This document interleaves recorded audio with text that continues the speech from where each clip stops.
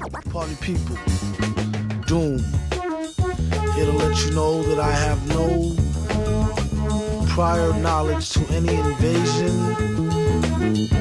or any invasion being planned or executed, and I have no ties to Madlib.